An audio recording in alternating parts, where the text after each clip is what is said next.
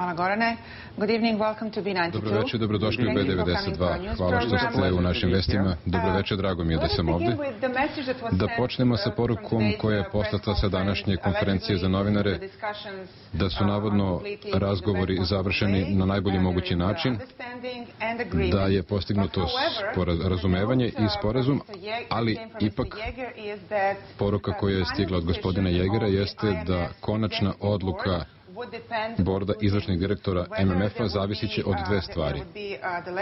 Da li će biti zakona o reformi penzijonog sistema i da li će biti usvojen do juna i da li će biti smanjenje broja zaposlenih u javnom sektoru. To su dva vrlo oštre kriterijuma. Hoće li ih Srbija ispuniti za manje od 30 dana? Hvala na tom pitanju. Pre svega složio bih se da je globalna poruka pozitivna i imamo postignut dogovor. Što se tiče pitanja, mi ih zovemo primarne akcije to jest prethodne akcije. Nije neobično imati prethodne poteze. U, u drugim zemljama imamo uslove koji se moraju ispuniti pre nego što se pređe na stvar. U Srbiji, u konkretnom slučaju, ti uslovi su reforma penzijenog sistema i tu već imamo dogovor o mnogo pitanja. Razgovarali smo o reformi penzija u novembru 2009. Tokom naše tadašnje misije također smo razgovarali o nacrtu zakona u februaru. i jedina stvar koja je preostala jeste formula indeksacije. i na tome smo se fokusirali ovim razgovorima. i nismo mogli da se dogovorimo o formuli indeksacije. Zakon je u prilično dobrom stanju, Biće potrebno još nekoliko nedelja vladi da ga završi. Ono što zahtevamo jeste da taj zakon bude predat Skupštini. Ne zahtevamo da on bude usvojen u Skupštini. A šta je, šta je sa onim, čini mi se, težim izazovom smanjenje broja zaposlenih u javnom sektoru? Praktično otpuštanje 10% ljudi koji rade za državu. Mislim da je to izazovna mera. Radili smo sa vladom, posmatrali smo kako je vlada sprovodi. Iskreno govoreći, bilo je odlaganja u primjeni tih mera. Nismo usmereni na poreske uštede, usmereni smo na principe ravnomerne primjene u ovoj oblasti. To, ne, pod, to nije veliki, ogroman procenat ljudi u javnom sektoru, to je otprilike jedan od sto celog javnog sektora, ako uključite i zdravstvo, obrazovanje, policiju, Bićemo usmereni samo na centralnu i lokalnu administraciju. Znamo da je vlada primjenjivala neke korake, ali ovdje je pitanje da su neka ministarstva to uradila, a druga nisu. I vi ćete to pratiti do kraja juna. Nećemo pratiti, nadzirati. Znamo da do sada nije mnogo ljudi otpušteno, ali želimo odluku vlade. Sled odluka koje će omogućiti potpunu primjenu tih mera. Šta će se desiti ukoliko dođemo do najgoreg scenarija? Šta ako Srbija ne ispuni te kriterijume? Hoće li to ugroziti 380 miliona evra koje Srbija može da povuče?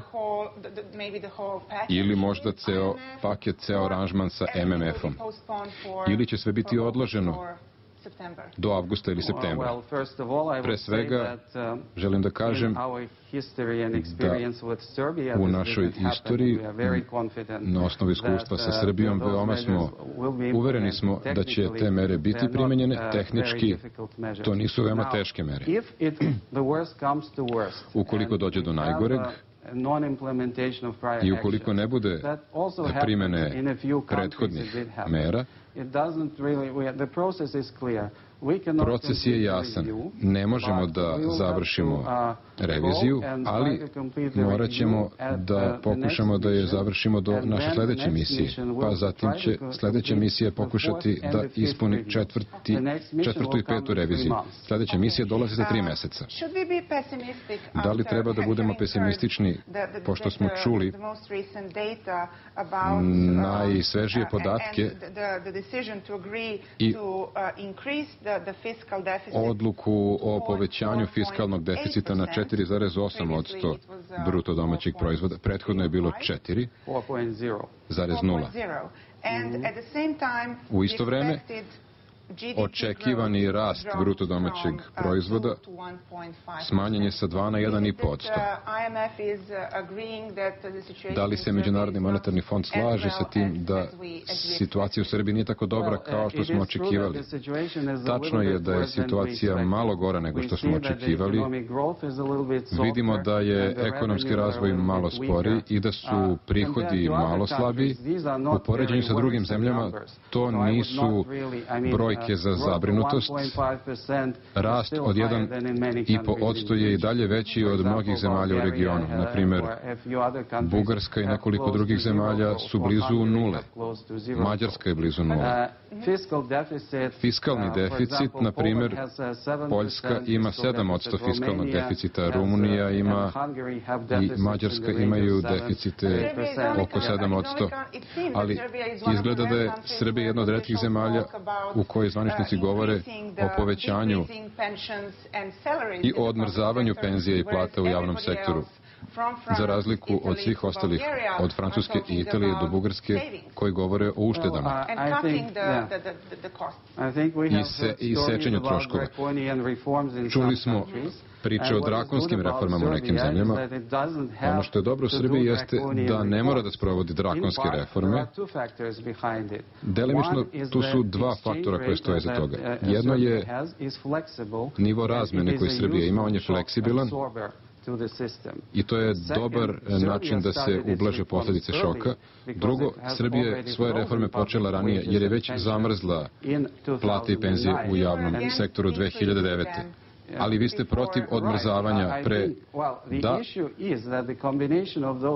suština je u tome da se da kombinacija tih faktora omogućava Srbiji da izbegne drakonske mere koje su neke zemlje sprovele i da, sm, da, da se smanje nominalno plate i penzije. Nažalost, situacija koju imamo jeste da je okruženje malo teže nego ranije nema dovoljno novca za povećanje plata i, sa, i penzija u budžetu. Zbog toga što nema novca u budžetu, mi bismo odložili diskusiju o tome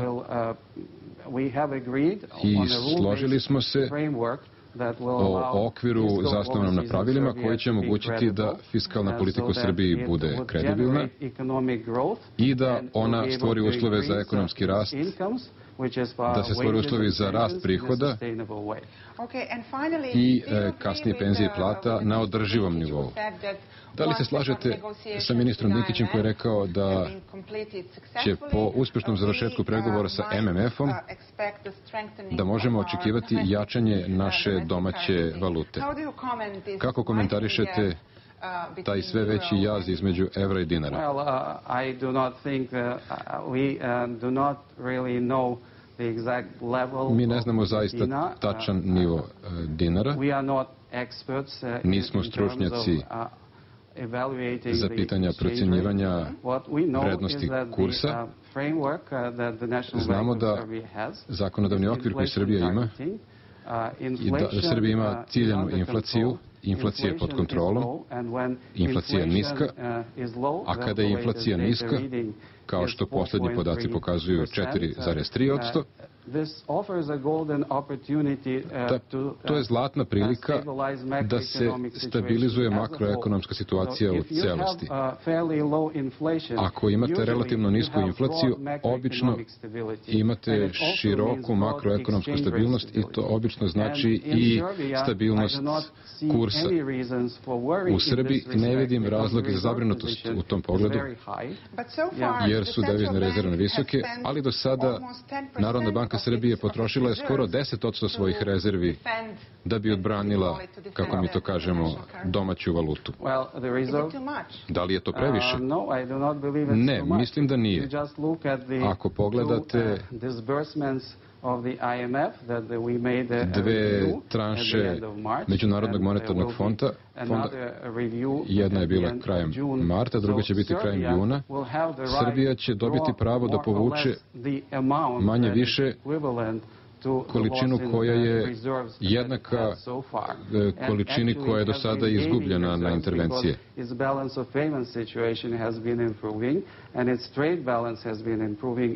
Ukoliko se taj balans poboljša, moram da vam kažem da što smo, koliko smo mi čuli, Srbija neće povući celu sumu. tranše Međunarodnog monetarnog fonda, već jedan manji procenat. Mislim da je program MMF-a veoma dobar signal za Srbiju da dovede svoju kuću u red što se pore fiskalno gledajući. Hvala vam mnogo što ste došli u B92 i hvala na optimizmu. Hvala i vama.